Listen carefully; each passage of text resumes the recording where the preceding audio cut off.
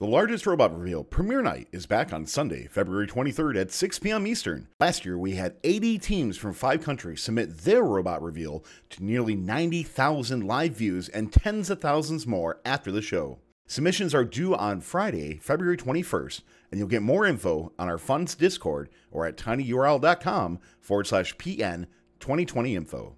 We also want to give a big shout out to our friends at Stryker for sponsoring this video. I just visited their global headquarters in Kalamazoo, Michigan, and wow, this leading medical manufacturer has state of the art workplaces, provides top pay, and even has a housing stipend for their interns. Learn more about how Stryker supports their employees who are in first by going to careers.stryker.com forward slash first.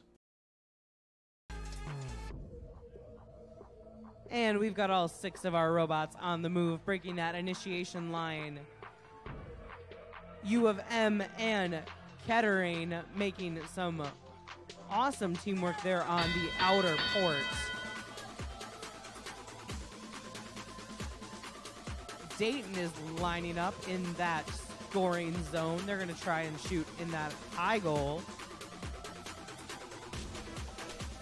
UMich and MSU making some contact in the middle of that field. Looks like the MSU team trying to play some defense against the Wolverines.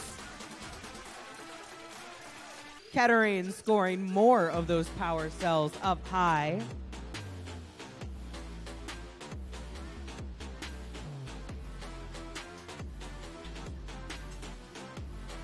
UMich dropping three power cells in one after another. Illinois lining up to drop some in the bottom port.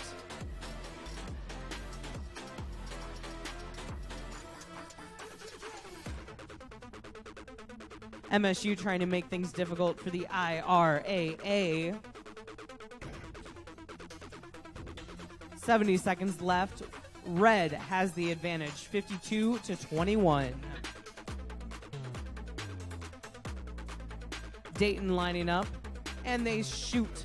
One of their balls makes it in, but their second power cell jumps right back out. GVSU seems to be having some trouble with communication. They've been sitting dormant for a while over on the far side of the field.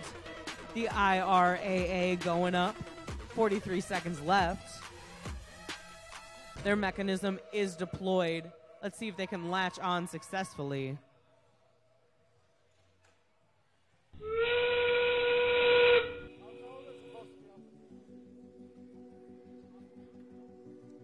Kettering was trying to get through that trench, but they might be just a little too tall. To get under there, you have to play limbo. Kettering and Illinois both working to latch on. We got four seconds remaining. Three, two, one. We got two robots in the air for the Red Alliance.